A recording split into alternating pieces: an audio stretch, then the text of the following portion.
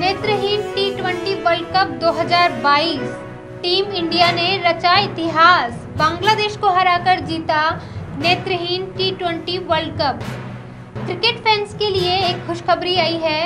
नेत्रहीन T twenty world cup के final मुकाबले में भारत ने बांग्लादेश को हरा दिया है। आपको बता दें, यह तीसरा मौका है जब टीम इंडिया ने यह टी ट्वेंटी वर्ल्ड कप जीता है। इस वक्त की बड़ी खबर टीम इंडिया ने बांग्लादेश को फाइनल मैच में हराकर नेत्रहीन T twenty world cup trophy पर कब्जा जमा लिया है। बेंगलुरु के एम चिन्ना स्वामी स्टेडियम में खेले गए फाइनल मुकाबले में टीम इंडिया ने 120 रनों से जीत दर्ज की है और यह ट्रॉफी अपने नाम की है। आपको बता दें, नेत्रहीन टी ट्वेंटी वर्ल्ड कप के फाइनल मुकाबले में भारत ने बांग्लादेश को हरा दिया है। दरअसल यह तीसरा मौका है जब टीम इंडिया ने यह टी ट्वेंटी वर्ल्ड कप जीता है।